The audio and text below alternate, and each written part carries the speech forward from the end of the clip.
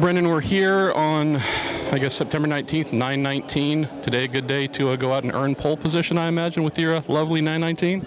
Yeah, we know, we know it's going to be tough. Uh, we think it's going to be pretty close at the top. Audi looked very strong this morning, um, but we didn't didn't put everything on the track. We had a small little issue that we're, we're uh, the boys are working working hard at and uh, rectifying now. But yeah, i have been optimistic before we arrived here, and, and, you know we've brought some good updates here.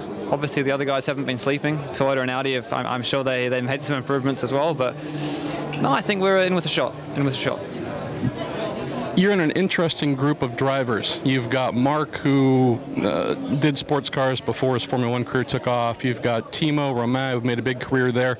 You're kind of young at this transition. You happy with this decision so far?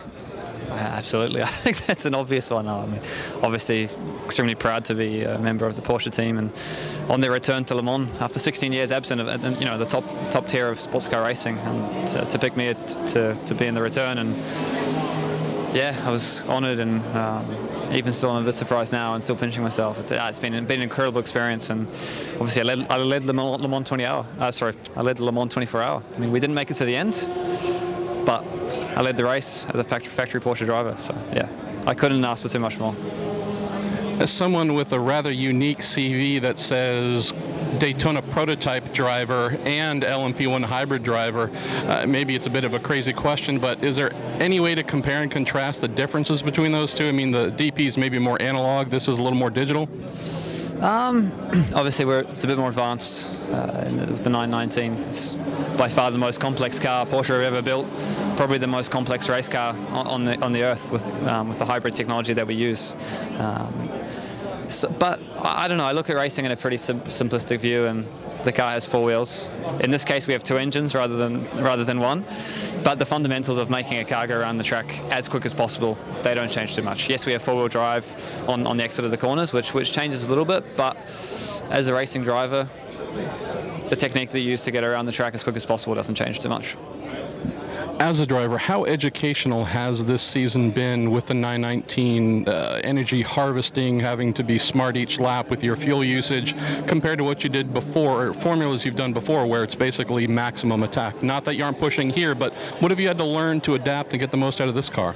I mean, obviously we're learning every single time um, we go out on the track, and still, I would still say it's early days in terms of the development of this car and, and, and the project. But from a driver's point of view, it's it's not like what everyone's thinking that we're saving fuel and you know we're, we're pushing you know we're getting this car around the track as quick as we can with the energy that we that we have available. Um, so yes we have a little bit of uh, we call it sailing at the end of the straight lines where we lift off and save a bit of fuel but still it doesn't change that we're braking as late as possible and we're, we're trying to get around the track as quick, quick as possible. You know that, that part doesn't change you know. Um, and and actually Porsche have made the whole system very intuitive. So it, it, it becomes quite natural and, and it's uh, actually we, have all I mean, we all loved it straight away. Having having four-wheel drive and electric engine sitting by, by our feet. Sometimes, you know, sometimes we're aware of it, but and and normally it's it's a fantastic tool that we have to play with, which we all love. Last question.